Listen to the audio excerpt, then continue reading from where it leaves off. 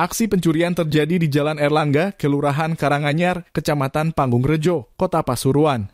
Kali ini uang 50 juta rupiah di jok motor amblas di gondol maling.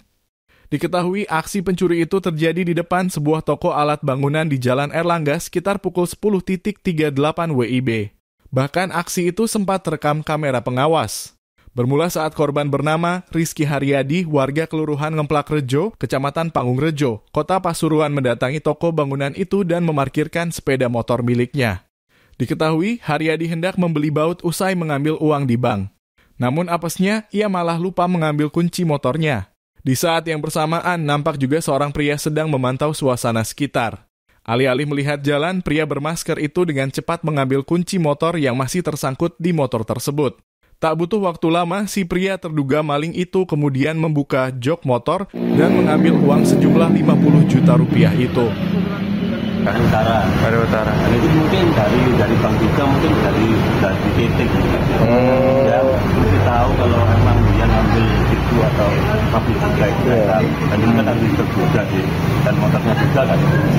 Oh, kuncinya ada di, uh, di motor. Di motor. Jadi dia uh, pelakunya itu apa ya enak kan oh, kondisi sepi kan mas tempat sini toko tadi ya lumayan sepi juga sih oh. juga dia dan dan pelakunya juga sih dia kondisi juga sih oh. dan dari juga dari sama kamera dua itu kurang lebih satu menitan oh. berarti kan dia kondisi dulu sebelum mengambil ya. Korban menyebut ia sudah melaporkan aksi pencurian itu kepada pihak kepolisian. Saat ini tim Satreskrim Polres Pasuruan sedang menyelidiki kasus tersebut. Diduga korban sudah dibuntuti usai mengambil uang di bank saat disuruh majikannya. Korban itu disuruh majikannya, disuruh untuk mengambil uang di dalam rekeningnya. Nanti akan disetorkan ke juragannya. Sebelum uh, menyetorkan, juragan meminta untuk uh, membeli baut tersebut.